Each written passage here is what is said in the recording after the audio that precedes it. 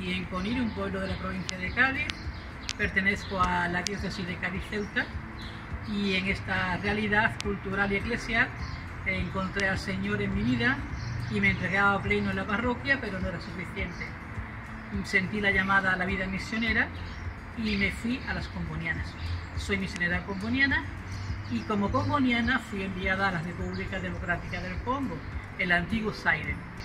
¿Qué hice en esos años, en esos 20 años que estuve allí, alternándolo con la animación misionera aquí en España?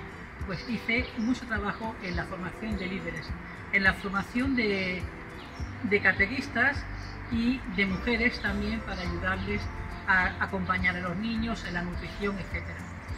Lo que más recuerdo de esta época son los años que vivimos de guerra, unos años muy duros a raíz de la rebelión en Uganda. Allí nos encontramos pues con bastantes dificultades para podernos desplazar de un lugar a otro, pero estábamos allí en los alrededores en los días de guerra, en los días de tiroteo, en que no nos podíamos mover, la alegría de reencontrarnos con la gente era fenomenal.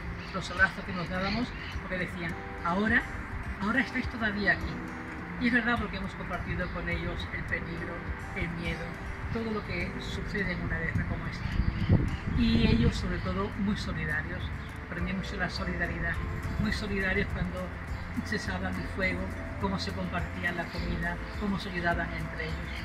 Yo creo que, que la experiencia ha sido muy rica, que permanece dentro de mí y que me está ayudando para trabajar ahora como lo estoy haciendo en la diócesis de Zaragoza, donde estoy trabajando con una parroquia entregada pues, en lo que puedo, en todo lo que puedo hacer, compartiendo también mi experiencia misionera con aquella gente de los pueblos mayos, como se llaman ellos.